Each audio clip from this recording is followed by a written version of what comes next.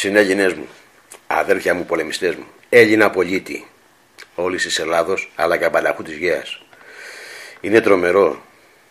Είναι φρικτό αυτό που συμβαίνει στους Έλληνες και το επιτρέπουν οι Έλληνες.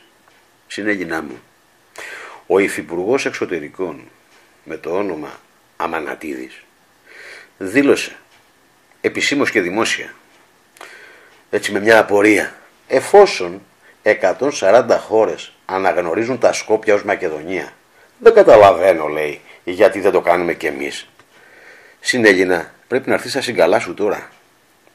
Πρέπει τώρα να καταλάβεις τι λένε όλοι τους. Μπορώ να σου κάνω χιλιάδες μηνύματα και να καταλάβεις τι λένε όλοι τους και να στα δείχνω. Πρέπει εσύ να καταλάβεις.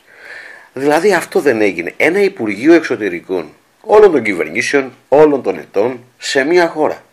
Δεν έχει άλλη εργασία από το να προστατεύει τα συμφέροντα, τα πνευματικά δικαιώματα του ελληνικού και του Ελλάνιου έθνους και του Έλληνα πολίτη, ανθρώπου. Υπάρχει κάποια άλλη εργασία.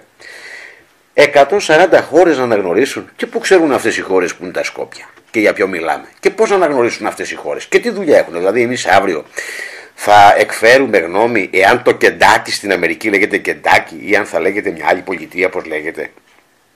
Και πώς μας πέφτει λόγος. Και από πού και ως πού να αναγνωρίσουμε εμείς. Τι αναγνώριση να κάνουμε.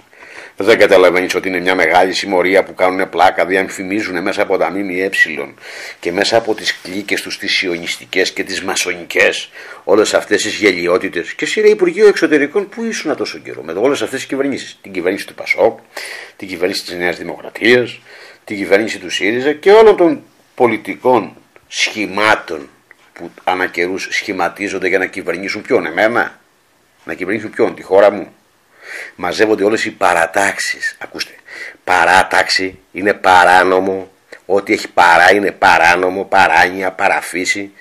Τα πάντα, ό,τι έχει παρά είναι παράνομο. Και έτσι λένε παρατάξεις. Άρα είναι παρά τις τάξεις. Έξω από την τάξη, όχι τάξη, τάξη είναι τάξη. Παράταξη είναι παρά την τάξη. Πέρα από την τάξη. Στην αναρχία. Στο κοινόβιο. Άρα ρε συνέγινε. Το Υπουργείο Εξωτερικών.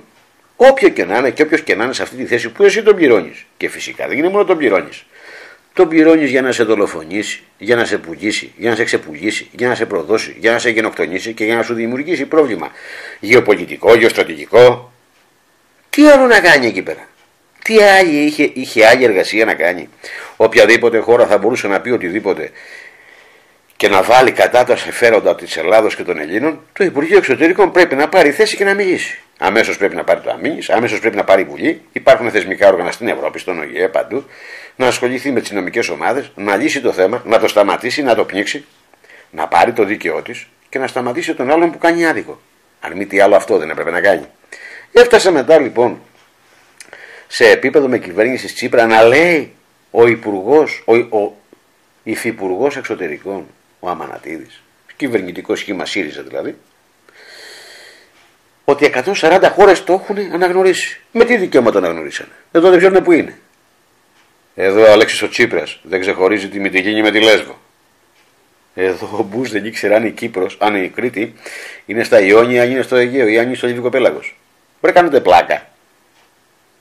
Συνέγγινά μου, έλα στην καλά σου γρήγορα. Κοίταξε όλα αυτά που συμβαίνουν. Εδώ μιλάμε για μια κυβέρνηση. Ο υπουργός ή ο υφυπουργός μιας κυβέρνησης εκφέρει γνώμη της κυβέρνησης και δεν είναι η γνώμη του. Που σημαίνει ότι συμφωνεί η κυβέρνηση. Αν δεν συμφωνούσε η κυβέρνηση, αυτό θα είχε πάρει ένα τέλος. Ωραία. Να το θέσουμε λίγο αλλιώς.